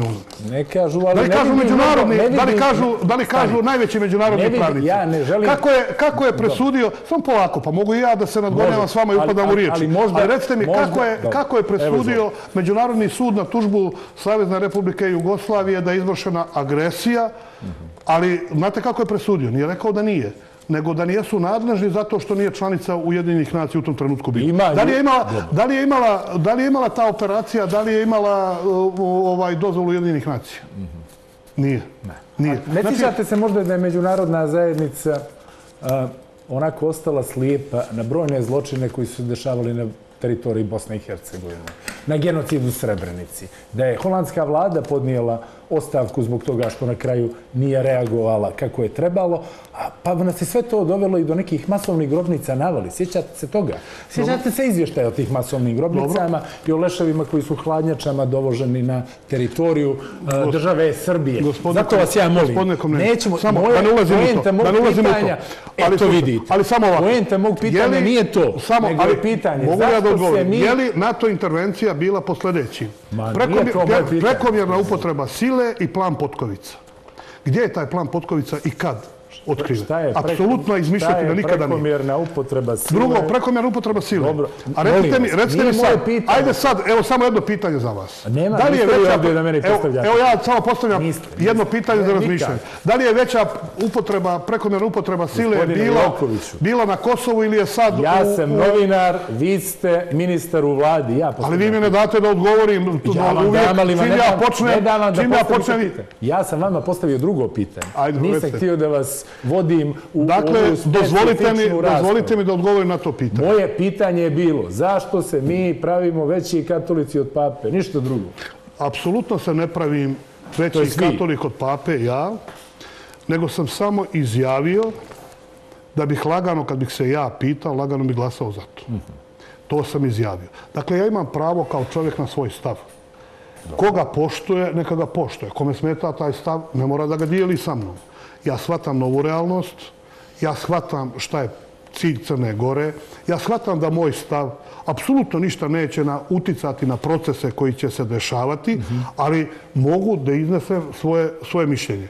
Dakle, nemam problem, problem sa tim. Ja to kod sebe, sebe cijenim. Mi znamo kad je vlada Crne Gore priznala, priznala Kosovo za samostalnu državu, državu, to je Duško Marković je izjavio da je to vlada Mila Đukanovića priznala, uprkos po ispitivanju 85% građana Crne Gore koji su bili protiv. Je to istina? Da. Jeste, jeste. I znači mi nemamo pravo da kažemo, a učinjeno je to... Imate vi sve pravo. Je, li tada, je, li, je li tada vođena politika ono što žele, žele građani ili što je želio neko ja drugi? Ja vas samo... Dajte, ne, ne dužimo, ostali smo na ovom pitanju. A vrlo je bitno ovo. Duže nego... Nije, nije više toliko bitno uopšte. Pa dobro, ja samo pitanje zašto pričamo o stvarima koje više nisu toliko bitne. ovo je bitno. Ja sam imao pitanje, ja sam hrani, Uvoz hrane, ovo je vaš resor. Lani je vrijedio 744 miliona i bio je za preko 100 miliona veći nego u 2022. godini. Dnevni uvoz hrane iznosi 2 miliona eura ili 3,2 po stanovniku svaki dan. Crna Gora je prošle godine uvozila krompir iz 20 država u vrijednosti od 5 miliona eura. Pa Paradajz za 8,3 miliona i 16 država. Crni i bijeli luk iz čak 30 država za 3,8 miliona eura. Ukupan uvoz hrane u prošloj godini iznosio je, dakle, za 17% je jači nego 2022. godine. I uvoz hrane u Crnu Goru je veći od cijelog izvoza. Šta mi to radimo? Gdje griješimo, gospodine Jokoviću? Šta vi radite? Ovako, ja radim sjajne stvari u Ministarstvu poljoprivrede, šumarstva i vodoprivrede. To kad neko gleda sa strane, to su činjenice koje su zatečene.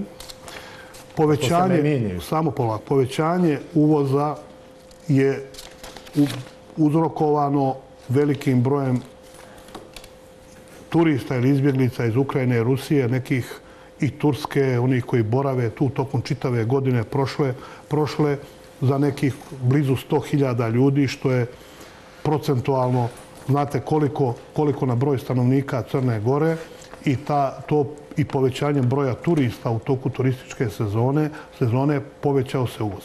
Međutim, značajno, veoma značajno se povećala i proizvodnja. Ono što mi radimo jeste na zadovoljstvo mnogih poljoprivrednih proizvođača, naravno svi nikada neće biti zadovoljni, jeste da povećavamo sva moguća davanja iz državnog budžeta kako bi proizvodili više. Da li ćemo mi uspjeti da proizvedemo sve ono što je potrebno Crnoj Gori? Ja mislim teško. Mi nemamo dovoljno obradivih površina. Ja sam i danas primio ljude koji će raditi zakon o zemljištu da bi svo zemljište to je donacija Svjetske organizacije za hranu FAO, gdje radimo zakon i vjerujem o zemljištu da će biti u, u skupštinskoj proceduri za jesenje zasjedanje, negdje septembar, oktobar, gdje ćemo zemljište kao resurs učiniti sve što je moguće zakonska rešenja da bude dostupno poljoprivrednim proizvođačima. Da li mi možemo nekih poljoprivrednih proizvoda proizvesti dovoljno? Nikad nećemo moći, jer jednostavno nema dovoljno površina. Nekada nekada davno, ne govorimo za DPS, možda 70. godine ili 60. kada je bila ta velika industrializacija, ljudi su bukvalno gonjeni sa sela da idu u fabrike i da rade, selo je zapuštano, mi imamo ozbiljan problem, problem sa dovoljnosti obradivih površina, drugi ozbiljan problem je usitjenost tih površina i sad i radi se jedan projekat. Milan Marković sa Biotehničkog instituta, profesor, čovjek iz Canu, koji je na čelu odbora za poljoprivredu, kaže da postoji problem što mi nemamo strategiju i da vi ni nakon ovih promjena 2020. ne donosite. Kaze u jednom kolumni objavljeno je u vijestima da je konačno sredinom marta nakon neobjašnjivog kašnjenja vlada usvojila agrobudžet za 2024. I ukazuje na brojne nelogičnosti. Ja ću vas pitati za jednu. Evo, vi kažete veća su. Za direktna plaćanja u stočarskoj proizvodnji, umjesto prošlogodišnjih 6,5 miliona eura, ove godine predviđate oko 5, što je znači za 1,5 milion eura manje. I on kaže, to ne bi bilo čudno da nije povećan iznos po kravi sa 85 na 100 eura, a po ovci i kozi sa 10 na 13 eura. Dakle, 30 čime se vi hvalite u svojim javnim nastupima. Ako se planira 3 miliona za krave, a prošle godine 4,3 miliona, da li je moguće da je broj krava, računa, pao na 30.000? U, ovčar, u ovčarstvu je planirano 1,4 miliona eura, što je uz 13 eura po grlu dovoljno za 111.000 ovaca. A prošle godine je bilo 1,5 miliona. To bi značilo da je broj ovaca samo u jednoj godini smanjen za blizu 40.000 grla. Šta ovdje škripi u ovoj vašoj računici? Apsolutno ništa. Ovo, kako je Odlično, poređano, odlično. zaista Apsolutno- nema veze s mozgom. Apsolutno ništa ne škripi. Apsolutno ništa ne škripi. Sad ću da objavim. Ali samo pustite. E. Što se tiče strategije da nije usvojena, usvojena je i usvojena i priznata od Evropske komisije strategija 24. 29. i ona djeluje. Znači, dobila je pozitivnu ocjenu Evropske komisije. I to je fakat. Dakle, to je netačno da nije usvojena i da nema strategije.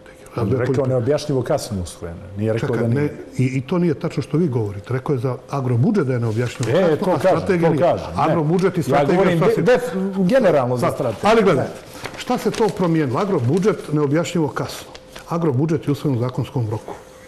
Dakle, mi smo imali 31.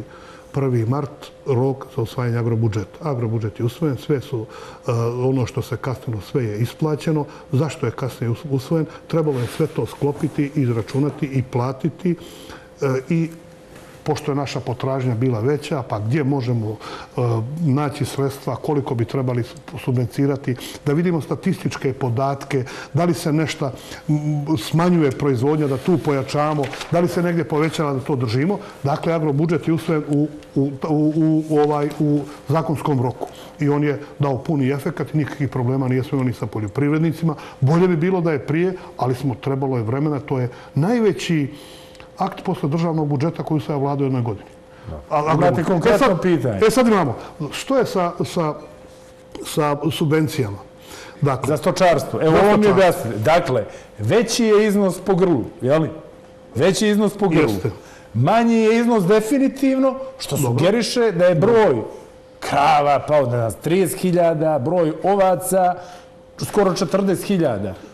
Šta se desilo sa tom stokom ili vaša računica ne valja? naša računica je dobra.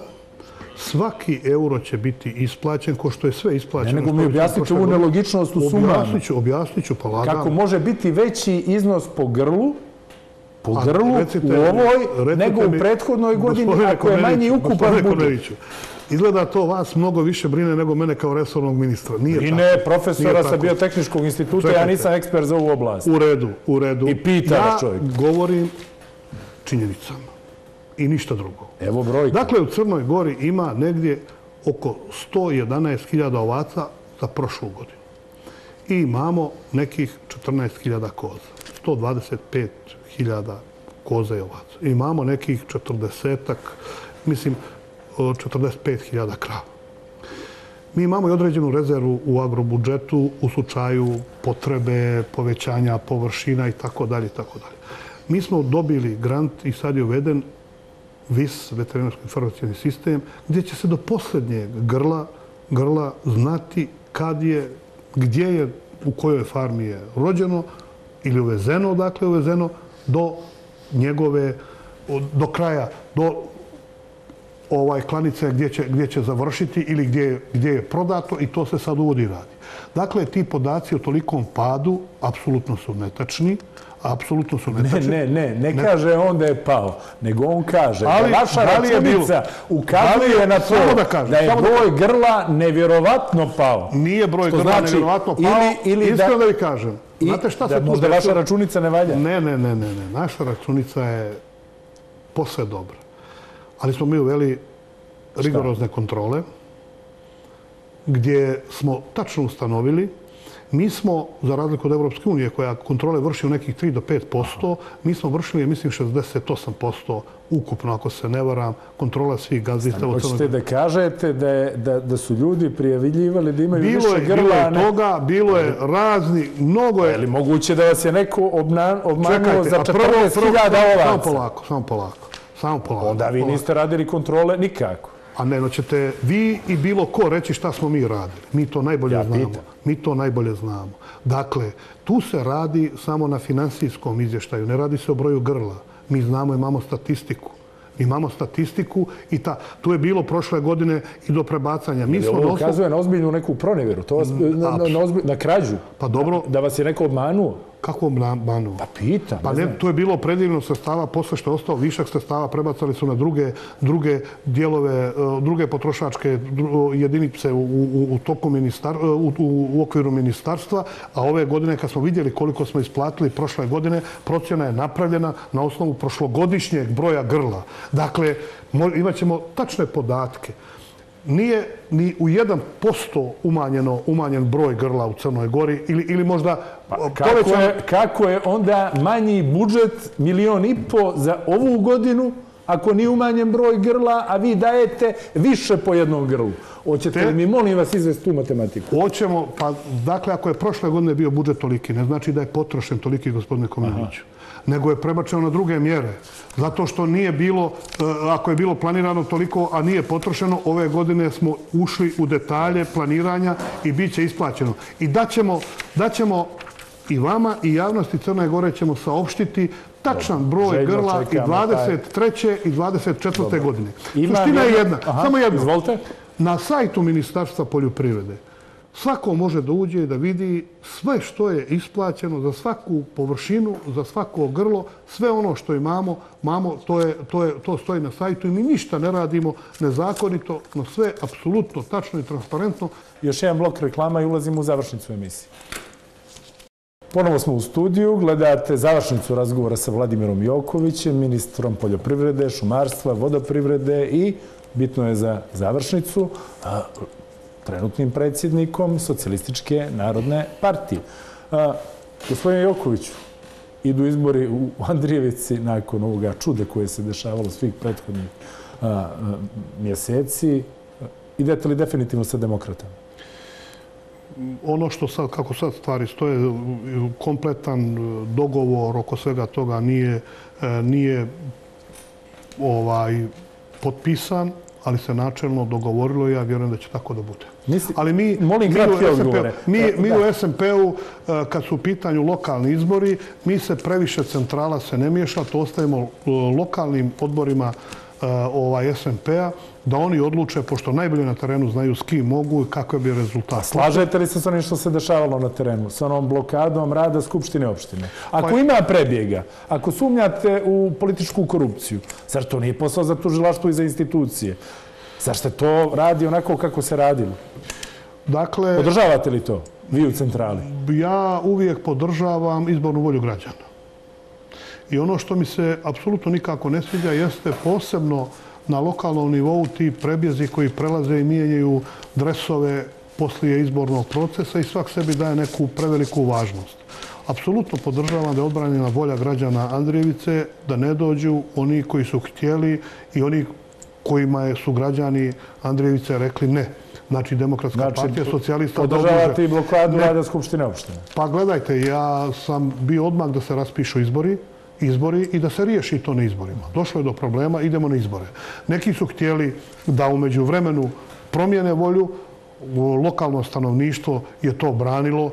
Ja iskreno mislim sa pravom, sa pravom jer nije su većina građana nije glasala i ne možemo na taj način to, to raditi. Šta to govori o centralnoj vlasti, uopšte organizaciji države, pošto ste vi dio centralne vlasti bili i kroz 43. i kroz 44. vladu? Znate Ako ne može se riješiti to pitanje u Da su izborni zakoni... Ako dvije godine ne mogu da se dovrše izbori u Šavniku i Zludjeću, ako još jednom to čujem. Dakle, šta to govori o, o, o krovu države, o vama? Mislim da... Ne mislim o vama personalno. Da, razumijem, razumijem. 43. i 44. vladi. Vi znate da se izborni zakoni donose kvalifikovanom većinom, ne prostom većinom u parlamentu i da je zato potrebna, potreban konsenzus i dogovor sa svima. Imali ste kaj? I, i negdje, pa nije, nije se uspjelo, vlada... Niste ne pokušali. Treća je, treća je pala poslije 100 dana, 100 dana vlasti, kasnije nije se u tome uspjelo, neke su stvari sad pokrenute. Duže je vladala nego što je ovaj bila u, u, u, u ovom mandatu, je li? Pa dobro, dobro, vladala je koliko, koliko je vladala, uradila je to što je uradila, ja se ponosim učešćem u toj vladi. vladi. Naš uslov je bio da bi ušli u tu vladu, da se potpiše temeljni ugovor sa Srpskom pravoslavnom crkvom, da se ono što je bila volja građana Salitija pretoči u pravo i, i u zakon. To smo uspjeli, ponosni smo na to. Da ste bili tako posvećeni izbornim zakonima i svemu onome pa što ste nam obećavali. Pa nijesmo mogli za toliko kratko vrijeme u takvoj situaciji kad nije... Pa u toj situaciji ne donosi izborne zakone vlada, nego ih donosi parlamentarna većina. U tom trenutku nije bilo parlamentarne većine i nije moguće. Mi nijesmo i neke nijesmo mogli da izaberemo ni sudije Ustavnog suda, ni tužilaštvo, ni sve, zato što nije bilo parlamentarne većine. Sad je došlo. Što se tiče izbora u Šavniku, dakle... i Da li da ih dovršavamo ili da idemo na nove izbore? Oni su od starta nelegitimni zato što su E, oni koji su vladali, videći da nemaju više podršku građana Šavnika, da će da izgube na izborima, napravili ono što smo mi zvali izborni turizam, prepisali su ogromni broj stanovnika Nikšića i susjednih opština, upisali ih, svi su ih upisivali na jedno isto mjesto. Sve to znam. Čovjek, čovjek, i kako takve, zamislite kad neko dođe, danas se prijavi i odredi ko će vladati u Šavnik i više nikad ne dođe u Šavnik. Jeste li za nove izbore ili za došavnik? Apsolutno za nove izbore, to treba riješiti na taj način. Ako je, ako je moguće po zakonu naći rešenje, ja sam apsolutno za to. Budva, već su raspisani izbori, tamo idete sa Novom i sa Demokratskom narodom. Tamo je pravljena šira koalicija, Nova... Moje pitanje, šta očekujete u, u, u, u Budvi nakon fijaske kad govorimo o izbornim obećanjima? Ništa nije realizovano od onoga što je obećano. Neki je od tih partija sa kojima ste vi sada u koaliciji su se podijelile gradonačelnik je u pritvoru pod teškim optužbama. Čemu se nada? Dakle, ja ne ulazim šta se dešava u drugim političkim subjektima, to po mnogo puta kažem. E, tačno je to što ste naveli da je bilo ozbiljnih problema u Budvi, zato idemo na prijevremene izbore. Ja mislim da su ovo treći izbori od 2000. godine u Budvi. U Budvi mi smo napravili tu koaliciju, dogovorili se. Ja vjerujem da će to biti pobjednička koalicija u Budvi bez obzira na sve te probleme koji su se, eh, koji su se dešavali. Vidjet ćemo kako će građani Budve, Budve reagovati, ali ta koalicija je na prošlim izborima apsolutnu većinu. Sad mislim da će biti, biti najjači politički subjekat. Ali evo vidjet ćemo, idemo na izbore. Što građani bude kažu, to je za nas e, sve to pismo. Dakle, njihova volja će, će odrediti ko i kako će gdje biti ko će biti vlast, ko će biti opozicija, ko će biti predsjednik i tako dalje. Dalje, ja sam uvijek, kad nastanu problemi, u određenoj opštini ili kad se pojave oni prebjezi koji hoće da promijene volju, volju, volju građana koji žive u toj opštini gdje odluke, odluke o vlasti se tiču samo njih, a ne onih koji su došli upisani, upisani uvijek sam zato da se ide na izbore da se na taj način riješi. Problema imaju u vašoj stranci, bilo ih je, padao vam je izborni rezultat iz godine u godinu. Vi ste završili dva mandata i po statutu više nemate pravo da se kandidujete ponovo na kongresu. Redovni kongres je narednog ljeta, je li tako? Ali je vaš kolega, Peruslav Čekić, također ministar u ovoj vladi, već najavio kandidaturu. Prvo pitanje, da li ćete, budući da je gospodin Čekić dva puta podržavao vašu kandidaturu, da li ćete vi podržati njegovu? Prvo da kažem, e, jeste da, da sam ja dva mandata na, na čelu SMP-a i da smo na moj predlog u statut na prošlom posljednjem kongresu SMP-a promijenili statut da predsjednik partije može da bude samo dva put. I ja mislim da je to dobra stvar. I mene su draga ovakva pitanja. Dakle, SMP je u sve svoje probleme koje je imao od osnivanja. Moram napomenuti da je to najjača partija svih vremena opozicija. On imala je 29 poslanika, a DPS prvo je imao, mislim, 21 posle pada s vlasti. Sad ima dva. E, DPS, DPS. Nego vi. Sad ima. Ali gledajte, mi za ono što smo se borili, što smo radili, mi smo ponosni. Dakle, i za vrijeme mog mandata dočekali smo da pane DPS, potpisali smo temeljni ugovor što je za Mitropoliju, Crnogorsko-Primorsku, najvažnija stvar od, pa ja ne znam da li je od drugog svjetskog rata bilo nešto važnije nego to što je urađeno i potpisano. To je veliko dijelo SMP jer je to bio uslov svih uslova. Naravno, naravno znamo tu i ja to dajem poštovanje prema Dritanu Abazoviću koji je ispoštovao. Za jednu stranku koja je ponikla iz komunističke partije, dosta čudno da vam je ključan interes mitropolije. Ali dobro, to je druga. Pa nama je ključan interes e, građana Crne Gore. Recite vi meni, hoćete li podržati gospodina Šćekića? Dakle, e, moram e, sljedeće da kažem, meni je drago što se gospodin Šćekić rekao da će prihvatiti kandidaturu i to je jedna demokratija u SMP-u. Svaki put kad je biran novi predsjednik, predsjednik bilo je više kandidata. Ja kad sam biran prvi put, bila su tri kandidata. Mislim, kad je Srđan Milić biran da su bila četiri kandidata. Ja vjerujem da će biti još kandidata na kongresu. Vjerujete li znate? Molim? Nekako slutim da znate da će biti još ne, kandidata. Ne znam, ne znam, ali ne, pa to je demokratija. SMP nije privatna niti poluprivatna partija. Znači, nije vi nastala... nećete a priori dati podršku gospodinu pa, Šćekiću, nego ćete da sačekate. Znate u čemu je stvar. Dakle, e, ja mislim da, da bi trebalo da bude više kandidata na, ako je, ako je, ali da svi prihvate da će kasnije, kasnije poštovati odluke, odluke kongresa i to je, to je sasvim legitimno. Da li će ih biti ili neće u ovom trenutku, ne znam. Kod nas je procedura da se predlažu i ko prihvati predlog, on će da bude, da bude kandidat. Znamo da, ja, pa ja sam za 20... Znači, vi ćete čekati da vidite ko su kandidati, ko su pa ćete onda ko su kandidati, ko su kandidati, kakvi će njihovi, eventualno ko su, ili će biti jedan, ili će ih biti više. Može li doći do vanrednog kongresa, budući da je ova najava, postoje, najava stigla sad? Postoje, postoje procedure, postoje procedure i za vanredni kongres ko misli da treba da bude varedni kongres, može da krene u tu proceduru, nemam nikakav... Šta je procedura za varedni pa, kongres? Pa varedni kongres, kongres mora uh, veliki dio, jedna trećina, mislim, nije sam ulazio u to detalje opštinskih odbora, da se izjasni, pa da se onda ide na predlog, pa da glavni odbor prihvati taj predlog da se ide na, na kongres i tako dalje. To znači da je to možda i realna opcija, ja? Ne znam da li je realna, time se ne bavim. Ja radim svoj posao odgovorno. Dakle, ovo što kažete, koja je, koja je sad rating SMP-a, moram reći to što se desilo SMP-u i dešavalo, nijedna politička partija na prostoru Zapadnog Balkana ne bi preživjela. Znamo koje su sve i koliko moćne partije otišle, otišle ovaj, postale van parlamentarne, samo u Crnoj Gori, sjećate se od radikalne stranke, Narodne stranke, Liberalnog saveza, SDP-a, e, pozitivne Crne Gore, PZP-a i tako dalje i tako dalje. SMP stoje. SMP je istorijska partija. Nije ona nastala voljom jednog pojedinca da bi sebe regulisao neku političku. Jeste mnogi napustili ne, ne, koje ste nekad hvalili, a da nas ih zovete anonimusi. Mnogi, mnogi, mnogi su je napustili SMP. Razočarani. Meni je, meni je Danijela Đurović, Nebojša Vuksović, neki ljudi koji čekajte, ste kovali čekajte, samo polako. Ja ne znam da li smo ih kovali, ko ih je kovao u zvijezde. Mi smo im dali priliku. priliku. Pa da li su oni, samo da kažem, samo da kažem. Neki su bili apsolutni anonimusi, niko ih nije poznavao, ulazo ih nije su poznavali, mi smo od njih, računajući da u najvećoj želji da pravimo dobru stvar, stvar, dali smo im značajne funkcije. Evo ja konkretno, sam Danijeli Đurović rekao, ajde, budi ti predsjednica Skupštine, koliko je meni stalo do nekih, nekih funkcija. I sad, e, sad je ona razočarana. A znači je razočarana? Da li smo mi koji smo ostali tu pet puta razočarani od onih koji smo koji smo obezbijedili njima da ih uzdignemo tu gdje su, a neki nijesu bili prije toga ni članovi partije, no smo u želji da proširimo... Onda, onda govori dosta loše o vašoj procjeni. Pa bila loša, ne, namjera je bila dobra, procjena je, e, i želja je bila dobra, ideja je bila dobra, ali je bila s pogrešnim ljudima. To je, to, to je, to je najveći stvar, sa pogrešnim ljudima. I, i da završim. Dakle, e, sva ispitivanja javnog mnjenja su govorila da SMP neće proći cenzus. I onda su mnogi koji objektivno glasuju SMP mislili su da ne baciju glas. Imali smo ispitivanja 0,8, 0,9, 1,1.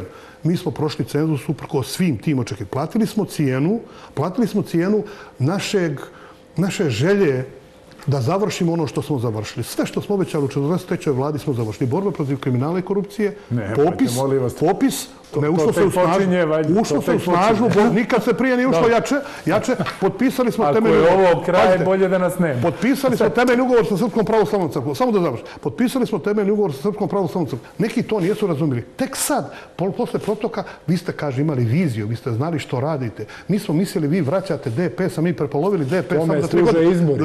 Tome služe izbori. Da vidimo, jeste li imali viziju i ne, i izbori Ali slušajte, šta vi mislite e, da, evo, minut ako možete. Šta vi mislite da bi mi ovo što smo uradili mijenjali za rejting koji imamo?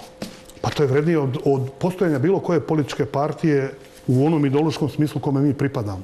Dakle, mi se nijesmo kockali, ćemo imati mandat više ili manje. Čak smo išli do toga, do toga da imamo i cenzus. Jedan politički, e, jedna agencija, evo završavam, samo još jedno, jedna agencija je e, pisala i kad su završeni izbori s dan da smo mi imali 2,8.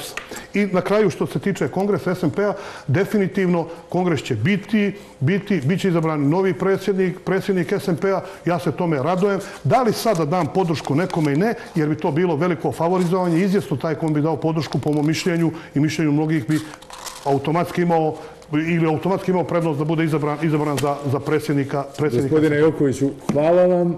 Hvala što ste se e, odazvali u ovom prozivu. Hvala na izdvojenom vremenu. Rekao snimamo 24 sata ranije. Sretan vam put. Vidimo se nekom drugom prilikom. Hvala još jednom. Hvala vam. To je bilo sve za večeras. Vidimo se narednog četvrtka. Isti termin. Neka nova interesantna tema i novi interesantni gost ili gosti. Vidjet ćemo. Ostanite uz televiziju Vijest.